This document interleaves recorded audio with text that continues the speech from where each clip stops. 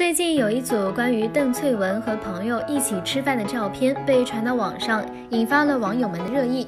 照片中的她穿着白色上衣和黑色长裤，戴着一顶黑色帽子。了解邓萃雯的人都知道，她是一个很喜欢真实的人，而且她的照片都从来不加美颜和任何的滤镜，将真实的自己展示给大众。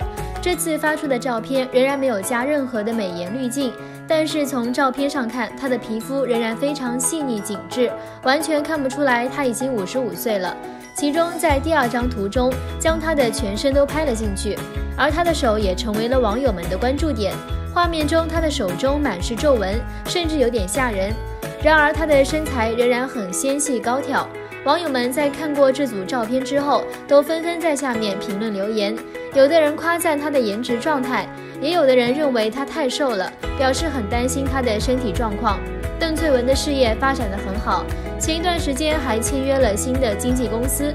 有网友猜测，她可能打算在北京发展，并且最近还忙于拍摄新戏。邓萃雯的演技已经被很多人认可，相信邓萃雯一定会在新剧中带给我们更多的惊喜。希望她未来发展的越来越好吧。